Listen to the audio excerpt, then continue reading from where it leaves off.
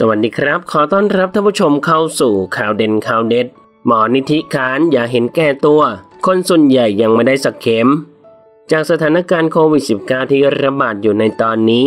ทำให้มีทีมบุคลากรทางการแพทย์ต้องทำงานกันอย่างหนักเลยทีเดียว จนแทบไม่ได้พักกันเลย เพราะมีผู้ป่วยติดเชื้อเป็นจำนวนมากและมีทุกวัน จึงทำให้แพทย์พยาบาลทุกคนจะต้องได้รับวัคซีนป้องกันโควิด -19 ก่อนประชาชน ถือว่าเป็นด่านหน้าที่ต้องช่วยเหลือคนอื่น ล่าสุดนายแพทย์นิธิมหานนท์เลขาธิการราชวิทยาลัยจุฬาภรณ์ได้ออกมาโพสต์เฟซบุ๊กร่ายยาวว่า ด้วยความเคารพและเห็นใจในความกลัวการติดเชื้อของบุคลากรทางการแพทย์ ที่ได้รับวัคซีนครบแล้ว จนมีประกาศกันว่าจะให้บุคลากรด่านหน้าได้ฉีดวัคซีนไฟเซอร์เพื่อกระตุ้นภูมิคุ้มกัน หลังจากได้วัคซีนไปครบแล้ว 2 โดส ผมขอให้ข้อคิดว่า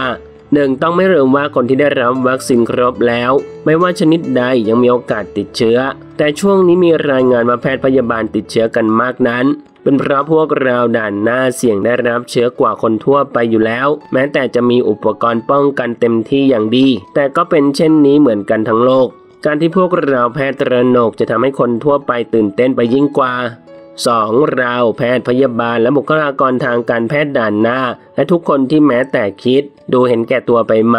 ในขณะที่คนส่วนใหญ่ของประเทศยังไม่ได้วัคซีนสักเข็มเดียวถ้าเราจะมารับการกระตุ้นด้วยเข็มที่ 3 กันก่อน 3. ยังไม่มีประเทศไหนในโลกณเวลานี้ ที่แนะนำให้ฉีดกระตุ้นวัคซีนโควิด -19 ด้วยเข็ม 3 ในตอนนี้ จะเป็นเมื่อไหร่ 3 เดือน 6 เดือน แต่ทางนี้ถ้าอยากรู้ก่อนอยากทำก่อนก็ทำได้ แต่ควรศึกษาให้เป็นระบบไม่ควรทำแบบทำไปมั่วๆเหมือนที่ผ่านมามีเก็บข้อมูลมาวิเคราะห์ ไม่วางแผนให้เป็นระบบประเทศไทยจะไม่มีข้อมูลอีกเช่นเคยเหมือนในอดีต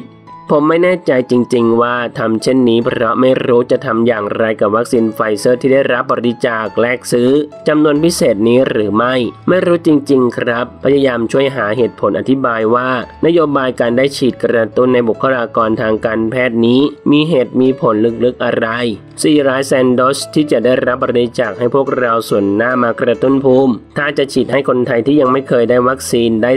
350,000 คน จะสามารถช่วยชีวิตได้ 3-4พันคนทีเดียว ดีกว่าไปหาทางเพิ่มเตียงไหมครับ 5. ทำเช่นนี้ออกข่าวปชสว่า แพทย์ใช้การกระตุ้นภูมิเข็ม 3 เท่ากับสร้างกระแสความเชื่อให้คนมีเงินขี้อวดและขี้กลัว แห่กันไม่ฉีดวัคซีนหลักที่มีขนาดนี้ของรัฐบาลอยู่ แต่รอไปเสี่ยงติดเชื้อไป และแพร่เชื้อด้วยไปอีกหลาย ๆ เดือน เพื่อรอ mRNA วัคซีนทางเลือก และนอกจากนี้จะมีคน VIP ที่คนละประเภทกับ VIP ผม ที่ไม่มีเงินแต่มีเครือข่ายมีสายมีเส้น แห่ไปรัดคิวย่งคิววัคซีนหลักเพื่อกระตุ้นภูมิ ของคนที่ยังไม่ได้วัคซีนเข็มเดียว สังคมเราจะยิ่งมีความเหลื่อมล้ำไปกันใหญ่ไหมครับ ถ้าประเทศเรามีวัคซีนเกินพอ ผมเห็นด้วยร้อยเปอร์เซนต์กับนโยบายนี้ หกผมไม่แย้งไม่เถียงว่า มีข้อมูลทางการแพทย์มากมาย ที่ทำให้อาจคิดและอาจทำให้เชื่อต่อได้ว่า การได้รับวัคซีนกระตุ้นนั้นจะทำให้ป้องกันสายพันธุ์ใหม่ได้ดีขึ้น แต่รู้ได้อย่างไรล่ะครับ ว่ากระตุ้นเร็วหรือช้าในเวลานี้จะให้ผลเสียมากหรือน้อยกว่ากัน อย่าคิดแค่มุมที่ดีมากหรือน้อยกว่ากันอย่าหลงตามกันไป จะตอบคำถามนี้ได้ต้องวิจัยและศึกษาให้เป็นระบบ อย่าสักแต่ว่าเชื่อฟังและได้ยินเขาว่าต่อๆกันมา 7. ผมพูดมาตลอดว่าการระบาดของโรคใด ๆ นั้นเป็นเรื่องของสังคมศาสตร์มากกว่าวิทยาศาสตร์ วัคซีนไม่ใช่คำตอบเดียว ถ้าทำตามแนวทางและประชาสัมพันธ์ส่งเสริม ที่จะให้เกิดการกระตุ้นภูมิกันเข็มที่ 3 ณเวลานี้ มีแต่จะทำให้เกิดความสับสนและแตกแยกเหลื่อมล้ำในสังคมมากขึ้นอย่างแท้จริง ผมไม่รู้ความตั้งใจของที่มาของการบริจาคมีเจตนาอย่างไร เล็งเห็นปัญหาความเหลื่อมล้ำที่เกิดขึ้นไหม หรือเป็นเพียงแค่การตลาดบริษัทยา ปกติผมไม่ค่อยชอบค้านอะไรตรงๆแบบนี้ แต่คราวนี้ขอผิดกติกาตัวเอง สงสารคนไทยอีกหลายสิบล้านคนที่ยังไม่ได้วัคซีน